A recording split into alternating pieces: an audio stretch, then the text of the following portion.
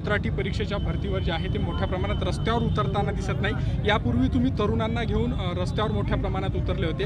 अशी सध्या भविष्यातली काही रणनीती आहे का? हो तीच रणनीती तशीच राहणार आहे. अजून विदर्भामध्ये पोचलं नसेल पण आपण बघितलं असेल तर मराठवाड्यामध्ये आणि पश्चिम महाराष्ट्रामध्ये हे आंदोलन बऱ्यापैकी तीव्र झाले आणि मोठ्या संख्येने विद्यार्थी रस्त्यावरती उतरत आहेत पण ह्याच्या विरोधात एक मोठं आंदोलन वंचित बहुजन आघाडी उभंच करते नाही हा जो जी आर आलाय तो एक काळा कायदा आहे असंच आम्ही मानतो. कंट्रॅक्टीकरण वरती class one two class four officers हे एम्प्लॉय झालेच नाही पाहिजेत. त्यांच्या स्पर्धा परीक्षा होऊन त्यांचं मेरिटोरियस सिलेक्शनच झालं पाहिजे.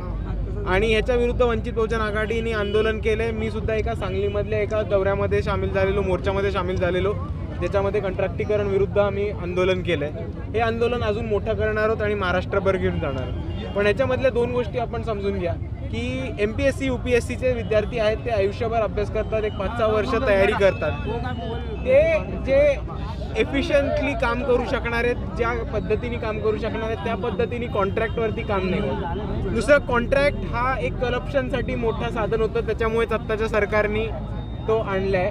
आणि त्याच्यावर महत्त्वाचं कॉन्ट्रॅक्टमधनं जे स्पर्धा परीक्षेमध्ये पॉझिटिव्ह डिस्क्रिमिनेशन किंवा रिझर्वेशन पॉलिसी पाळली जात होती ती कॉन्ट्रॅक्टकरणमध्ये केली जाणार नाही आहे म्हणून आम्ही याला विरोध करणार आहोत.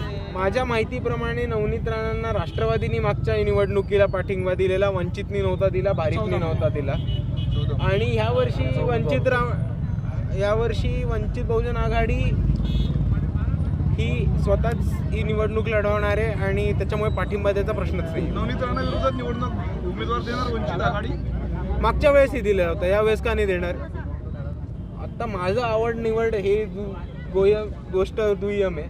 पहिला दृष्ट्या पहिला प्रश्न सर्वांसमोर राहतो की कामा काय आहेत आणि ती कुठल्या पद्धतीने आम्हाला हाताळता येईल आणि माझ्या मदत बाकीच्यांना कशी होईल हाच माझा फोकस राहणार आहे. माझी उमेदवारी माझी लोकसभा माझी निवडणूक वेळ त्याला. बघून घेऊ.